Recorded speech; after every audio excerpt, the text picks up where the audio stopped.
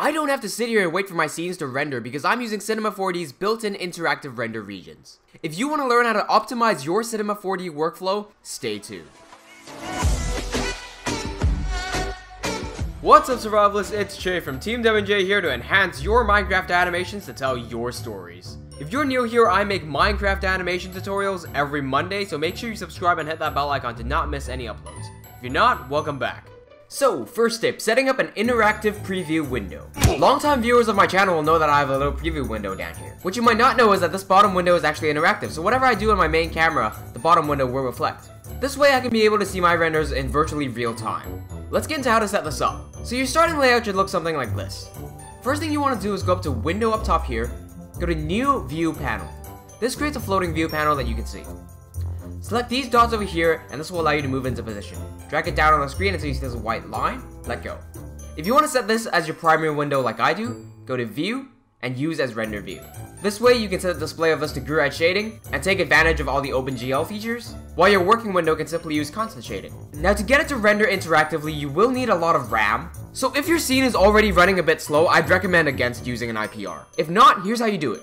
First, make sure the bottom preview window is selected, then go to this button over here, click and hold, and select Interactive Render Region. You can resize this box however you like, but anything inside the box will render almost instantly.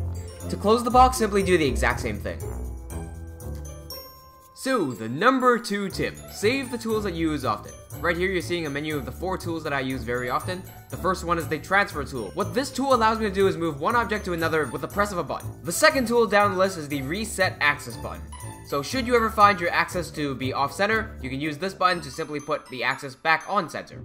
The third tool here is very common around the C4D users, it's reset PSR. That stands for position, scale, rotation, and it basically sets all those values back to zero. The fourth tool here is Select by Normal Direction. This is from the Selection Tool plugin that you can download for free online, but basically what this does for me is, if I have a bunch of polygons and I want to select in one direction, this tool can do it in one button.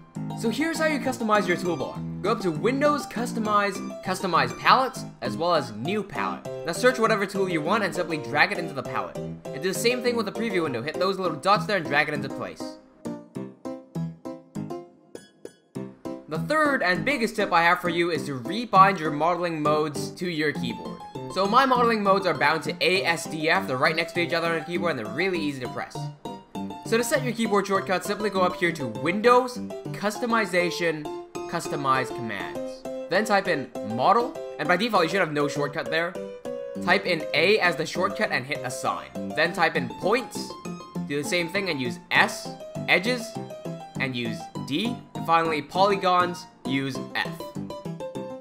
If you want to learn more about animation, I heavily suggest checking out my beginners to advanced playlist designed to help you improve your Minecraft animations right here. If you want to download this scene or get other cool rewards like exclusive renders or early access, make sure you check out my Patreon page.